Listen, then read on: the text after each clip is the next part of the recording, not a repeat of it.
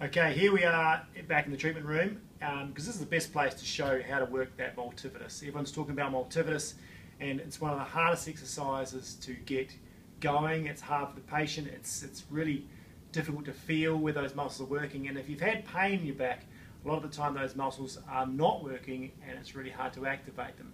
So I'm going to give you some ideas of how this exercise works and what you're trying to achieve and what you're, you're trying to feel for and aim for. So the best thing is obviously if you don't have a treatment table just on the floor, but for this sort of purpose, so you can see what I'm doing, I'm up on the treatment table.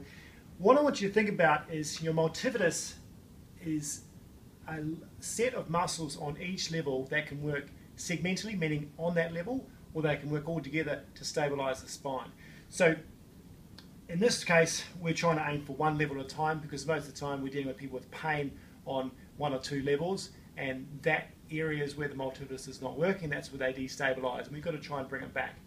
But to get it activated, what you need to work on is your pelvic floor and your transversus first. So if you haven't already done that, go back and have a look at the videos on transverse abdominis and pelvic floor. Make sure you've got that organized so you know how to switch that on and keep that on while you're breathing so then you can then focus on the multifidus. Right? So first things first, if you're working on the left hand side, what you want to work on is trying to get and feel where that multifidus is. So if you aim for the bony part here of your SIJ, okay, so coming just above the pelvis, obviously not in the midline, you want to be just just across from the midline above that bony point and then you're deep over that L4 region.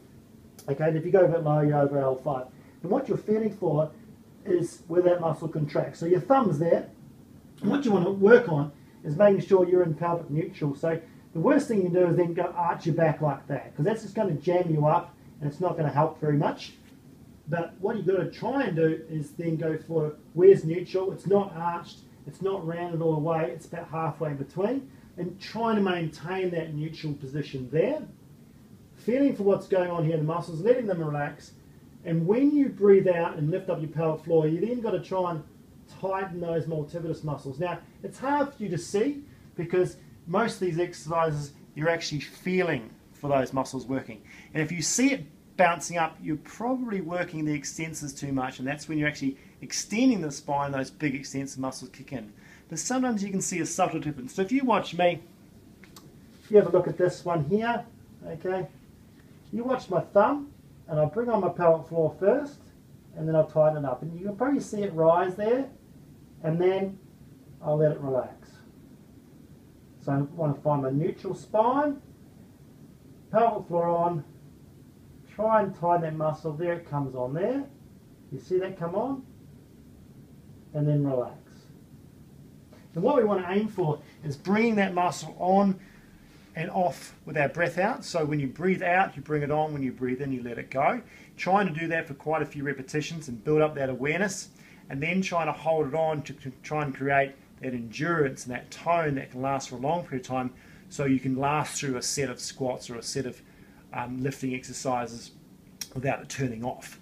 Um, so that's your multifidus, what we call multifidus prone. Once you've got that sus and you can you can do that exercise quite well, you then need to work on advancing that exercise to start moving the limbs. So if you come up into, say, all fours, where, and again, you want to be making sure, I'll show you here, you don't want to be arched into this position, you want to be not into fully flexion. You want to be halfway in between and try and find that nice neutral position. And then, because you, you can either put one hand on your back, but it's better if you've learned how to do that, you're aware of that, and so you know how much to bring it on. Is you bring on that power floor, and again, you can't see much on the video, but it's about how you're feeling. Tightening that multifidus muscle in the back there, and then trying to stabilize that weight through your hands and your knee, and trying to slide one leg back and then bring it in without your pelvis moving around. So the, the idea of multifidus is to try and stabilize the spine with your transversus and pelvic floor to keep your spine stabilized while you move your limb, that low level ability there. So this position here, making sure when you go back, you don't go and arch your back. Um, because a lot of people will go, okay, I've got to switch on my back muscles, and they'll go and extend when they do that. So your mission is to keep it neutral while you move back and forward. And of course, the slower you go, the longer the time, the harder it is, and you've really got to think about what you're doing with multifidus there. So remember, activate it first, okay? Get the feeling, get your fingers in there, work out how much you need to bring it on, make sure you're not bringing on too much and, and using your overactive extensors. And then once you've learned how to do that for quite a long period of time, like quite a few days, then you can progress into a, that four-point leg slide and try and then maintain the neutral spine using that multifidus idea and sliding your legs back and forth. But a take-home tip for that is try and remember that your multifidus, you're trying to swell the muscle up or tighten the muscle in your lower back without extending your back. Very important you don't extend your back, you just swell up and tighten it up.